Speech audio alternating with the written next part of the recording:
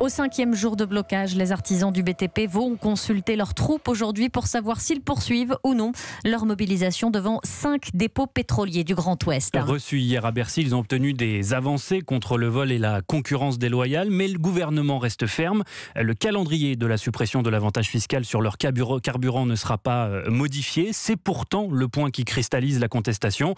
Et en attendant le vote des manifestants, le blocage se poursuit avec à la clé euh, une pénurie qui s'étend dans l'ouest de la France. Reportage à Lorient de François Coulon pour Europe 1. 17h30, le pompiste de la station Total de Kéroman à Sec tente de stopper le flux ininterrompu de véhicules qui font le forcing.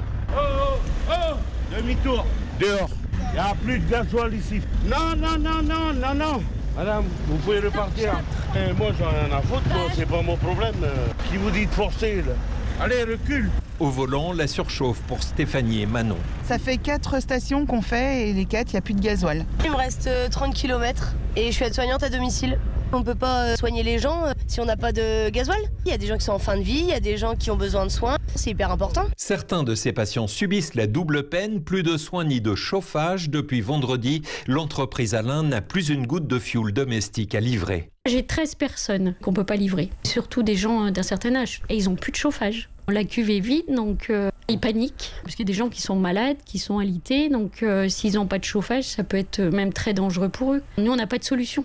Le préfet du Morbihan refuse tout rationnement. Il contribuerait, dit-il, à accentuer la psychose et donc la pénurie. Lorient, François Coulon, Europe.